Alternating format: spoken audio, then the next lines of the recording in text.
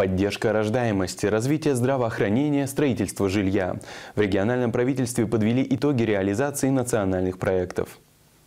В начале заседания губернатор Мурманской области Андрей Чипис призвал коллег обращать особое внимание на быструю и грамотную реализацию национальных проектов, а также оперативно реагировать на любые возникающие трудности. Нет нерешаемых проблем, просто нужно вовремя эти вопросы понимать, и расшивать, как говорится, э, слушать все стороны и э, снимать эти вопросы.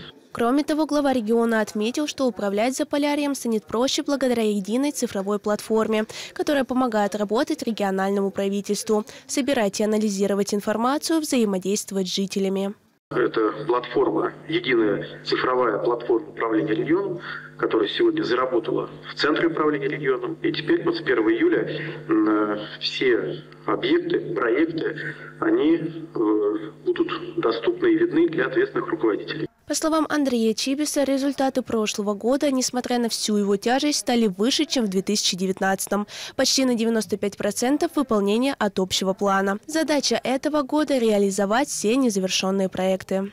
В этом году все те проекты, объекты реализовать. У нас их 370.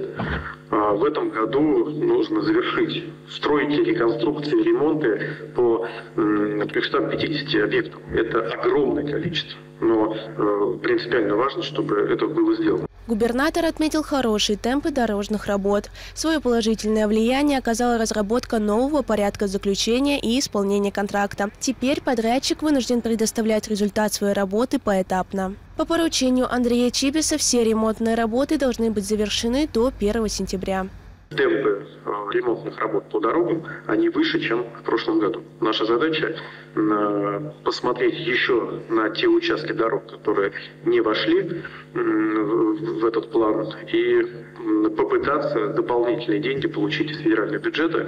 Мы этим сейчас занимаемся для того, чтобы в этом году еще больше дорожного полотна отремонтировать. Предварительные итоги реализации национальных проектов предоставила первый заместитель губернатора Мурманской области Оксана Демченко. У нас, безусловно, в качестве достижения это то, что, э, ну, в качестве уже таких результатов заметных, это то, что начаты работы по всем э, общественным пространствам, которые мы делаем э, в рамках проекта формирования комфортной городской среды.